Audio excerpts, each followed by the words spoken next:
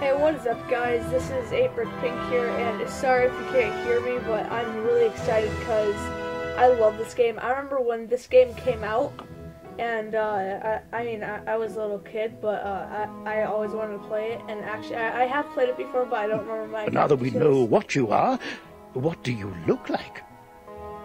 So now let's create a character. I'm actually really excited for this.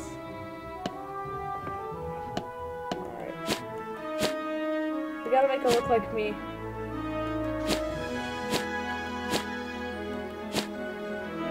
That's some, that's good hair.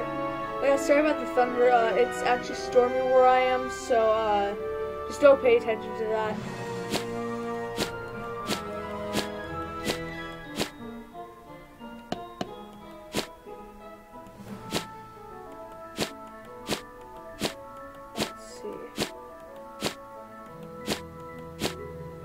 There we go.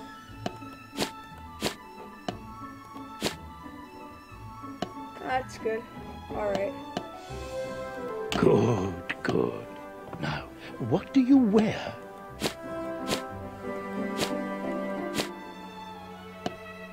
I wonder.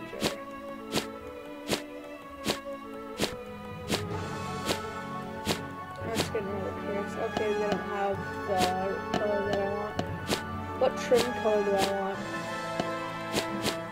I think I want green as a trim color. Then for my robe, it's gonna be same colors.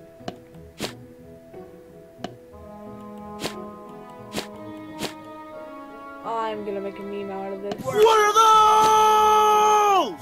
What are those? All right then. What is your name? I already chose that. Alright, this is gonna be a lot of fun. Let's play.